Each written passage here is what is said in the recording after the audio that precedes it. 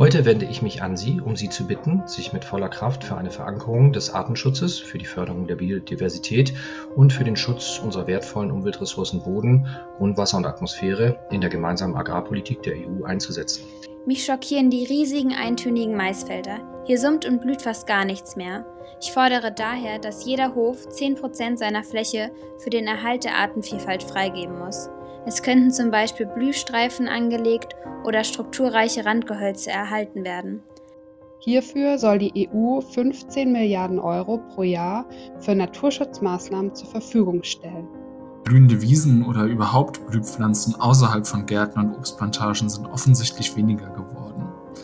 Dass das negative Auswirkungen hat auf Insektenpopulationen und weitere Arten sind, äh, das, ist, das ist wissenschaftlicher Konsens und es geht mir nicht nur um die Natur, sondern letztlich droht diese Entwicklung auch auf die Existenzgrundlage der Landwirte selbst und unsere Gesellschaft insgesamt zurückzufallen.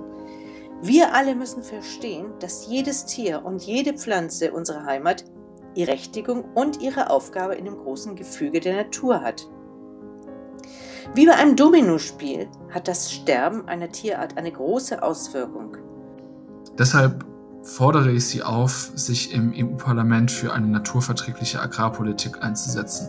Zum Beispiel könnten pro Hof 10% der Fläche naturnah bewirtschaftet werden mit Blühstreifen, mit strukturreichen Randgehölzern und so weiter.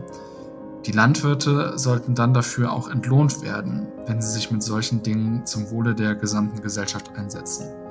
Ich hoffe, dass wir eine Wende hin zu einer naturverträglicheren Landwirtschaft hinbekommen, bei der die Erhaltung der Artenvielfalt stärker als bisher im Mittelpunkt steht.